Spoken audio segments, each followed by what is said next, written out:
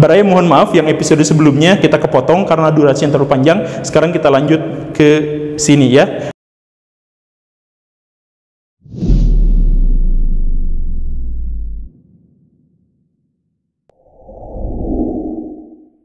Nah, setelah kita tahu bahwa masalah di Eropa pada waktu itu sudah sangat rumit dan sudah muncul dua aliansi besar, Triple Entang versus Triple Alliance, maka sedikit saja pemicu itu akan memunculkan perang besar. Dan faktanya pemicu itu memang ada di sini. Nah, di Bosnia. Ini spidol merah tapi kok hitam? Si Austria Hongaria ini menjajah Bosnia. Putra mahkotanya Franz Ferdinand jalan-jalan ke sini untuk meninjau latihan perang itu.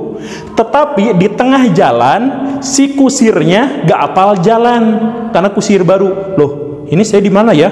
Akhirnya dia muter-muter masuk ke gang-gang kecil. Padahal Bosnia itu dipenuhi oleh musuh-musuh Austria. Siapa sih yang pengen dijajah gitu? Maka negara-negara ini juga pengen melepaskan diri dari penjajahan Austria. Pas ada putra mahkotanya lewat, hampir tanpa pengawalan dan protokol karena lagi nyasar itu, ada seorang pemuda si prinsip. Oh, ada putra mahkota Austria Hungaria, dia punya pistol. Padahal lagi lagi duduk-duduk di warung kopi itu teh, di warung kopi Bu Ijah Pas udah deket-deket, jeder, jeder, jeder, a, a, a, mati si Franz Ferdinandnya. Austria marah besar. Oi, itu orang Serbia, ngapain kamu ngebunuh putra mahkota saya? Serbia dikiranya takut, minta ampun, malah nantangin. Kata Serbia, yang salah siapa? Kamu yang harus minta maaf. Kan sudah saya peringatkan, jangan bikin melatihan militer di wilayah Balkan. Bikin ribut aja, kata Austria kok anak gua yang mati lu yang ribut-ribut? Maka Austria langsung nyatain perang pada Serbia. Pakai yang merah. Austria nyatain perang ke Serbia. Kalau Serbia diserang Rusianya panas walaupun mereka tidak terlibat dalam satu kubu yang sama, tapi yang tadi itu Rusia itu membutuhkan wilayah Balkan agar dia punya pelabuhan ke Laut Tengah. Ke Turki gak mungkin karena harus ribut dengan Turki. Nah, mendingan lewat negara-negara Balkan. Tapi negara-negara Balkan ini kalau ribut dengan Austria pasti kata Rusia ya, pasti yang menang Austria. Kalau yang menang Austria nanti ini diambil alih seluruhnya sama Austria. Rusia tidak memiliki akses ke Laut Tengah. Maka ketika Austria nyatain perang ke negara-negara Balkan, maka Rusia nyatain perang ke Austria. Austria temannya Jerman, maka Jerman nyatain perang ke Rusia. Rusia teman baik Prancis, maka Prancis nyatain perang ke Rusia, eh ke Jerman. Si Je, si Italia nyatain perang ke Prancis karena Jerman adalah teman Italia dan Inggris nyatain perang ke Jerman. Karena Jerman karena Inggris adalah teman Prancis dan Rusia. Maka enam kekuatan ini perang. Di sini ada dua kubu. Seperti yang tadi diramalkan oleh Otto von Bismarck nanti kalau terjadi perang pasti akan perang dua front. Di sini Jerman harus menghadapi invasi Rusia di perbatasan Prancis Jerman harus ribut sama Prancis dan Inggris gitu kan ceritanya maka seperti yang tadi diramalkan juga oleh Otto von Bismarck, kalau itu sampai terjadi, nyatain perang sama Rusia, tapi serang dulu Prancis karena Rusia butuh waktu ke sini. Maka benar saja si Jerman langsung nyerang ke Prancis, guduk guduk guduk guduk guduk lewat Belgia, lewat Belanda. Belanda yang katanya menjajah Indonesia 350 tahun itu gak bisa ngadepin tentara Jerman. Tentara Jerman lewat doang sampai ngebantai tentara-tentara Belanda. Tentara Belanda, Belgia, Luxembourg nggak apa-apa. Ampun pak, ampun pak, eh, eh, mati semuanya gitu ya kalah. Jerman dengan kekuatan tempurnya ke Prancis. Nah, si Prancis lebih lemah daripada Jerman, tapi dia santuy. Kenapa? Si jenderal Prancisnya, duk, duk, duk, duk, duk. Ini anak buahnya ke jenderalnya. Pak, tolong pak, Jerman nyerang. Oh, Jerman nyerang. Oh, santuy. Gak lama kemudian, duk duk duk duk duk. Pak, itu Jerman sudah tinggal 50 km lagi dari perbatasan. Hah? Perbatasan Prancis. Oh, ah ya nggak apa-apa. Si Prancis yakin kalah dalam pertempuran itu. Tetapi dia meyakini bahwa kekalahan itu kalaupun terjadi tidak akan sampai dua minggu. Itu masalahnya. Karena di minggu ke-6 Rusia akan datang menyerang wilayah Jerman. Kan gitu kan? Jadi si Jerman yang tegang walaupun kekuatan tempurnya lebih besar. Jadi pas nyerang Prancis, si Prancisnya malah leha-leha tarik mundur pasukan, berpencar ke sana ke sini gitu. Jadi menyibukkan pasukan Jerman. Pasukan Jerman menang terus di semua front menuju uh, Prancis, tetapi mereka semakin lama semakin tertekan. Minggu pertama semangat, Minggu kedua ngesang, kok Prancis belum dikalahkan. Minggu ketiga, aduh gimana ini. Minggu keempat mereka terpaksa harus mundur dari mobilisasi pasukan di barat dan masuk ke timur. Di sinilah Prancis maju. Ketika Rusia maju sampai di sini dan maju, Rusia eh apa Prancis maju. Jerman ada di tengah-tengah, kemudian Inggris melakukan serangan membantu Prancis dan memblokade lautan Jerman. Jadi Jerman dikepung sama tiga arah sekaligus, tak tak tak. Ini sampai nggak kelihatan petanya. Pokoknya peta Jerman itu di sini ya. Ini Prancis di sini. Ini Austria di sini. Nah, tapi walaupun begitu, Jerman masih kuat karena disokong oleh Austria Hungaria yang berperang di sini. Nah, ini perang Austria Hungaria. Nah, yang galau itu Italia. Italia itu punya perjanjian damai dengan Jerman dan harus saling bantu dalam perang. Ada perjanjian begitu. Tetapi tahun 1902 dia bikin perjanjian dengan Prancis. Perjanjian damai. Jadi si Prancis gini, Italia sini. Apa lu kan musuh sama gua? Enggak, sini dulu, sini dulu. Beneran? Iya, sini dulu. Temenan dulu, temenan dulu. Lu kan ada wilayah-wilayah wilayah-wilayah Italia tapi dimiliki sama gua sama Prancis iya kan? Gua mau kasihin wilayah itu sama lo. Italia mau nggak? Si Italia. Terus dengan catatan lu harus mengkhianati Jerman. Kalau lu mengkhianati Jerman itu tanah itu lu ambil. Oh gitu ya? Mau nggak? Mau nggak? Mau nggak? Si Italia ragu. Gue pikir-pikir dulu ya gak usah banyak mikir. Mau gak? Kalau mau deal gue kasih sekarang juga tapi lu hianatin Jerman. Ya udahlah gue hianatin Jerman tapi wilayah itu milik gue akhirnya si Italia berkhianat dari Jerman dan masuk ke dalam blok sekutu. Jadi Jerman makin kelabakan karena Italia nyerang dari selatan. Untung masih dihandle sama Austria dan Italia itu pasukannya gak cukup kuat. Jadi receh lah, gampang lah. Tapi bahwa dia berkhianat itu udah bikin sakit hati banget. Tapi tahun eh tadi tahun berapa belum disebutkan ya? Dimulainya tahun 1914. Maaf, saya kelupaan. Nah, 1915 Turki menggantikan Italia. Man, man, gua bantuin lo dari selatan Kenapa Turki membantu Jerman? Karena Turki ribut dengan Rusia soal wilayah Laut Mediterania, pantai politik air hangat. Turki itu musuh bebuyutan Rusia udah sejak lama, udah sejak ratusan tahun. Maka Turki gabung ke Jerman karena Jerman musuh Rusia. Maka Kesultanan Turki Utsmani atau Kehalifahan Turki Utsmani membantu Jerman dan Austria melawan Italia, Inggris, Rusia. Tapi ada kabar baik buat Jerman. 1917 di bulan Februari ada pemberontakan terhadap kaisar Rusia. Ketika tentara-tentara Rusia dikirimkan ke sini, pasukan di pemerintahan kan sedikit, diambil alih oleh para pemberontak yang terdiri atas Menshevik dan Bolshevik.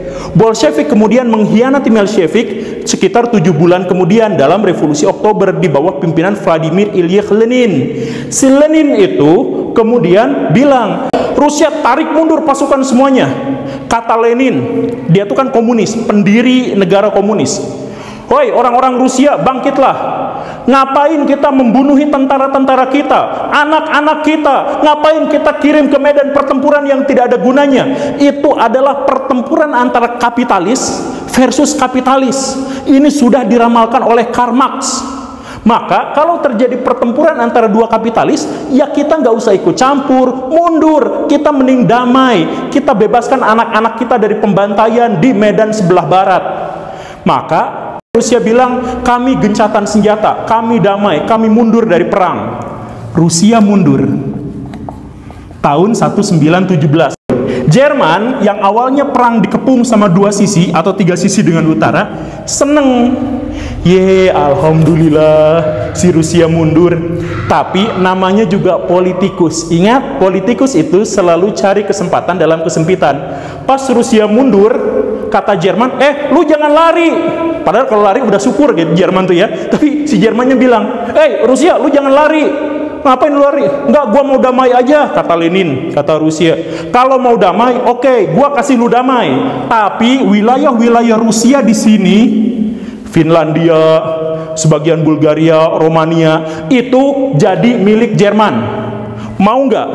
Jadi si Jerman tuh e, dikasih jantung minta hati gitu atau sebaliknya mungkin ya. Jadi udah masih Rusia mundur malah minta tanah ini gitu. Padahal kan untung juga buat Jerman.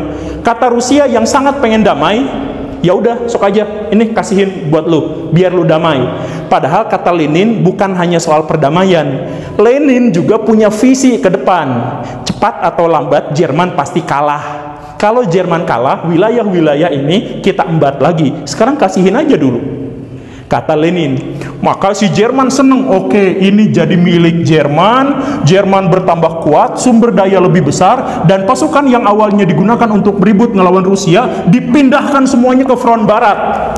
Banjiri front barat dengan pasukan-pasukan Jerman. Maka ini Prancis dan Inggris kelabakan mundur terus di sini sejak Rusia mundur tahun 1917 pas lagi mundur-mundur ada masalah kecil yang berdampak besar. Masalah kecilnya itu, kan tadi Jerman itu diblokade di kawasan utara sama kapal-kapal Inggris kan? Nah, si Jerman bikin kapal selam untuk membombardir kapal-kapal Inggris yang ada di sini. Rugi berat Inggris. Tapi dampaknya adalah Amerika Serikat ikut campur. Karena selama ini Inggris itu kan dagang hubungan dagang eratnya itu dengan Amerika Serikat. Kalau eh, kapal-kapal dagang Inggris di sini itu dihancurkan sama Jerman, maka Amerika Serikat juga nanggung rugi yang besar. Maka Amerika Serikat siapkan pasukan, kita ribut sama Jerman karena mereka telah merugikan ekonomi kita. Amerika Serikat ikut campur ke sini, ribut, ngimbang lagi kekuatan di sini antara Jerman, Austria, Hungaria dan Turki melawan Amerika Serikat, Inggris dan tanah jajahannya termasuk India dan banyak sekali pasukan sekitar wah pokoknya mah banyak banget. Perang di sini seimbang, tapi Jerman masih juga maju dan hampir menang. Hampir menang, tapi ada dua kejadian besar. Eh, dua kejadian yang sangat kecil. Pas Jerman lagi asik-asiknya nyerang, maju, tet tet pelor pelor pelor peluru tet pas maju gitu orang-orang komunis yang dibesarkan oleh Lenin yang tadi itu si Lenin itu sempat kan dibuang sama kekaisaran Rusia ke Jerman. Kata kaisar Rusia si Lenin tuh jahat banget dan kuat banget. Ada di mana pun dia dia pasti akan merusak maka kata si Rusia dulu si Lenin ini ditangkap dibuang ke Jerman gitu. Karena di mana pun Lenin berada dia akan merusak. Dan benar si Lenin merusak Jerman. Bikin partai komunis sampai partai komunis itu menjadi partai terbesar di Jerman. Sebelum perang. Ketahuan sama si Jerman anjoy si Lenin diselundupkan kembali ke Rusia tanpa sepengetahuan kekaisaran Rusia. Makanya akhirnya tahun 1917 Rusia hancur gara-gara revolusi Bolshevik yang dipimpin oleh Lenin. Tetapi si Lenin juga sudah menghancurkan Jerman sebelumnya. Dia sudah membesarkan partai komunis. Sehingga ketika Jerman lagi asik-asiknya nyerang, pabrik senjata di tengah-tengah kota mogok kerja gara-gara pemberontakan Spartakis. Partai-partai politik haluan kiri komunis berontak semuanya, kami nuntut berhenti perang. Si Jerman yang udah maju, pelor abis, gak bisa produksi lagi karena pekerja-pekerjanya mogok komunis kurang ajar mundur, mundur. Kita cari bantuan, kita cari duit. Beli pelor di mana? Beli senjata di mana? Pas mau beli senjata, beli pelor, duitnya habis. Loh, kas Jerman di mana selama ini? Kas Jerman. Ternyata kas Jerman kan selama ini dipegang sama Yahudi. Si Yahudinya mindahin aset ke Inggris. Kan si Yahudi mikir, ini perang besar. Gua milih pro Inggris atau pro Jerman. Kata Yahudi setelah rapat besar konspirasi ya, ya udah kita pro Inggris saja karena tanah jajahannya udah luas kita bisa bisnis di seluruh tanah jajahan Inggris maka aset-aset ekonomi di Jerman milik Yahudi itu dipindahkan ke Inggris. Dan jumlahnya besar. Jadi si Jerman mau nembak pelor nggak ada gara-gara pemberontakan komunis mau beli senjata duitnya nggak ada gara-gara konspirasi orang Yahudi. Jerman yang udah hampir menang malah mundur ampun-ampun gencatan senjata. Tahun 1 ini setahun kemudian 1918 Jerman nyatain saya mundur, saya mundur gencatan senjata karena sudah tidak memiliki apa pun. Di sinilah Prancis balas dendam. Mau mundur? Oke. Kalau lu mau mundur, maka dalam perjanjian Versailles di istana Versailles yang dulu digunakan untuk mempersatukan Jerman sekarang adalah penanda tanganan untuk kehancuran kekaisaran Jerman. Jerman, lu nggak boleh punya tentara. Tentaranya harus sedikit. Seluruh tanah jajahan lo harus diambil. Lu harus nyumbang ke gua minimal 10.000 lokomotif alat berat, senjata, lu harus ganti seluruh kerugian perang. Inggris juga, gua minta 25 ribu kapal dagang ke Jerman. Lu harus ganti kerugian perang. Semua kerugian perang, bayangin baraya, kerugian perang ditanggung satu pelor doang itu harganya 10 ribu. Dalam perang berapa pelor yang harus terbuang? Kerugiannya besar dan semuanya harus Jerman yang tanggung. Tentu saja dengan Austria Hungaria dan dengan Turki gitu ya. Tapi Turki yang ngenes juga. Nanti kan kekhalifahan Turki Utsmani runtuh kan? runtuhnya ngenes tapi kita fokus ke Jerman Jermannya habis tidak berkutik karena dia minta gencatan senjata karena sudah tidak punya apa-apa dan ketika dia harus menandatangani gencatan senjata itu kalau lu nggak mau rakyat lu bantai habis-habisan kata Prancis dan Inggris gua minta yang tadi itu. Ribet banget. Akhirnya Jerman mengalami inflasi yang sangat luar biasa. Harga bakso tiba-tiba dalam semalam menjadi 4 miliar rupiah pada waktu itu. Yang awalnya harga bakso 6 ribuan. Kan bakso di gang gitu ya. Nah Jerman habis Jerman kalah berakhirlah perang dunia ke-1 gencatan senjata tahun 18 berakhirnya 1919 di salah satu rumah sakit di Jerman ada seorang kopral yang duduk. Dia dalam hati sudah benar-benar kesal benar-benar benci. Dia pada waktu itu matanya buta. Sebentar lagi dokter akan membuka perban matanya dan dia yakin akan melek. Dia bersumpah dalam hati, kalau saya bisa melihat kembali, mata kanan saya akan saya gunakan untuk menghabisi orang-orang Yahudi. Mata kiri saya akan saya gunakan untuk menghabisi orang-orang komunis. Ketika dokter benar-benar membuka matanya, dia bangkit. 20 tahun kemudian dia akan balas dendam. Dialah Adolf Hitler. Jadi sama seperti di film-film gitu ya ceritanya. Oke, okay, baraya gitu saja. Uh, terima kasih karena sudah menyaksikan. Maaf karena terlalu rumit. Uh, terima kasih. Saya Guru Gembul. Silakan subscribe buat yang belum. Assalamualaikum warahmatullahi wabarakatuh.